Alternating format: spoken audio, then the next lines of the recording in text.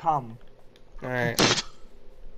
Have you, From the, the you know what that reminded me of? There's a fucking video of this girl on a beach, and she's and she's like, if you ever see this foamy stuff on the beach, that's just whale sperm. So if you're hungry, need a snack.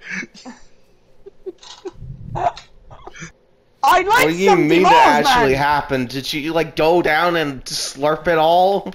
No, you just take your hand. just apparently, licked it. Just licked it. No, and apparently what they did was like scooped it up.